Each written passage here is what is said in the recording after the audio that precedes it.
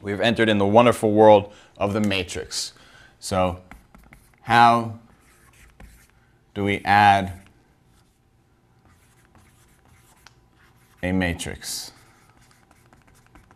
How do we add matrices? Okay, so we take a look at our first example, start out with a nice 2 by 2 one. So we have negative 1, 0, 2, 1.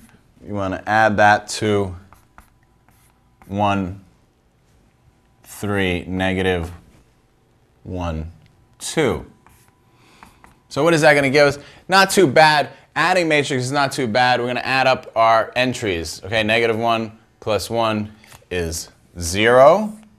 So we say negative 1 plus 1 equals 0. Then we're going to go 2 plus 3. 2 plus 3 gives us 5. Okay, 0 plus negative 1 is negative 1.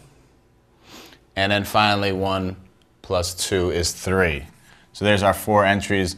0 plus negative 1 is negative 1. And then 1 plus 2 is 3. All right? So there is our new matrix. Not too bad. Not too bad. Take a look at another one of these. Okay? And we just put it right under here. This is not a bad example.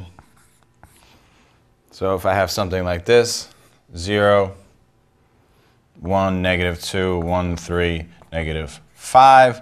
I want to add that to 0, 0, 0, 0, 0, 0. And you know where this is going.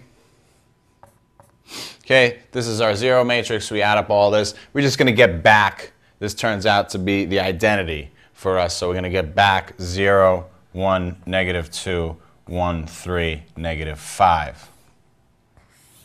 Okay, so not, not too bad.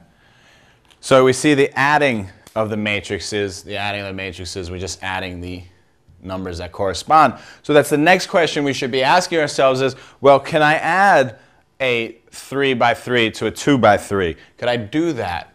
Or 3 by 2? Let's see, can we do that?